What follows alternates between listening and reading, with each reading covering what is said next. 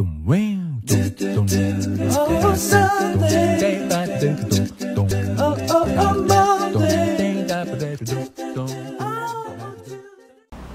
สวัสดีค่ะทุกคนวันนี้นะคะหมวยมีข่าวดีสำหรับหมวยมาบอกทุกคนค่ะมาเล่าให้ฟังนะคะ เนื่องจากว่าหนังศีรษะของหมวยดีขึ้นค่ะทุกคนปกตินะคะหมวยจะมีปัญหาหนังศีรษะลอกเป็นรังแคนะคะ แต่ตอนนี้มันดีขึ้นแล้วล่ะทุกคนหมวยจะมาเล่าให้ฟังนะคะว่ามันดีขึ้นได้ยังไง นี่เลยค่ะ น้ำมันมะพร้าวที่ทำให้หนังศีรษะหมวยดีขึ้นนะคะ หมวยเริ่มใช้ตั้งแต่วันที่ 6 มิถุนายนนะคะ เริ่มใช้นะคะ ก็คือหมวยจะชโลมผม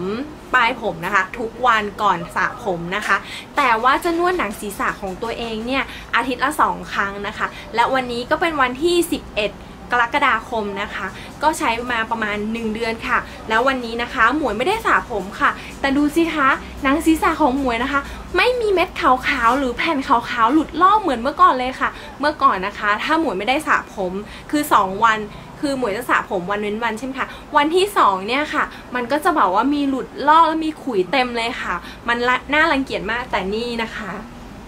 ดีมากเลยค่ะ ปกตินะคะ หมวยจะไม่ปล่อยผมเลย เพราะว่า1นนะคะเป็นคนที่ลำคาญผม2นะคะ เป็นรังแคค่ะ แต่ตอนนี้วันนี้นะคะ ไม่ได้สระผม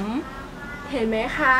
แต่ผมก็ไม่มีแบบว่าจุดขาวๆหรือว่าแผ่นขาวๆทำให้เราลำคาญใจเลยค่ะนี่ ผมสลวยสวยเก๋นะคะ อยากจะบอกว่ามันดีมากๆเลยค่ะ ถ้าใครนะคะที่เป็นรังแคนะคะ ลองไปหาใช้ดูค่ะ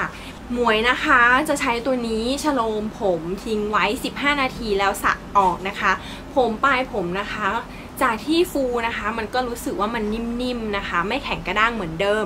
แล้วก็นวดหนังศีรษะนะคะ อาทิตย์ละสองครั้งค่ะ มันทำให้หนังศีรษะหมวยอะไม่แห้งเหมือนเดิมเลยค่ะ มันดีมากๆนะคะ เคล็ดลับแบบนี้มีไว้ต้องแชร์ค่ะ วันนี้ไปก่อนแล้วนะคะ บ๊ายบาย สวัสดีค่ะ